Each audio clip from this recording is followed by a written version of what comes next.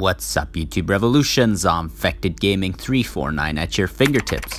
Just before we jump into the news, time for a little self-promotion. If you are a Far Cry fan, consider subscribing to the channel and ding that bell icon really hard so I can always stay within fast reach of your fingertips when new uploads arrive.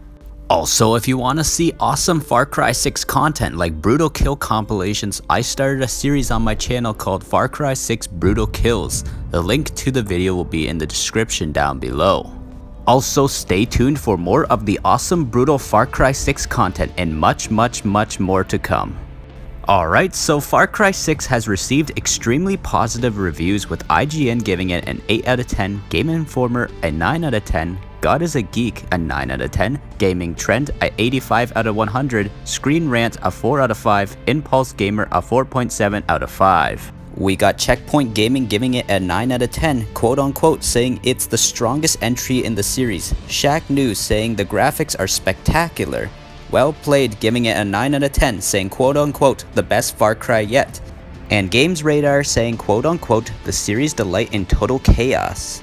So yeah, the reviews are mostly positive, no 10 out of 10s, but not everything is perfect, especially since Far Cry's map editor, staple of the franchise, isn't in Far Cry 6, and the Far Cry 5's arcade isn't there at all either.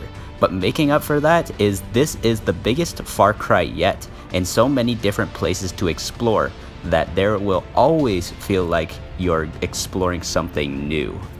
I have barely scratched the surface on Far Cry 6. I'm still currently on the first island in the game and when you look at the map, the island looks small but when you actually explore it, it's actually pretty big. In words for me, what I can describe Far Cry 6 is just cause in first person because of how chaotic the game is. I drove a tank in the game already and I had a blast. It reminded me of when I play a Battlefield game when driving a tank. The game gave me Battlefield 5 vibes when I was in the Pacific Theater maps while driving a tank. But overall, first impressions, I'm impressed with the game, and I have reason to believe the game will get better as I explore and discover new weapons.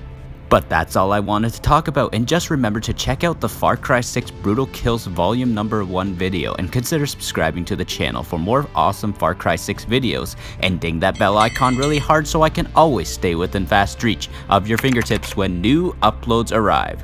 Zombfected Gaming 349 over and out. Hello.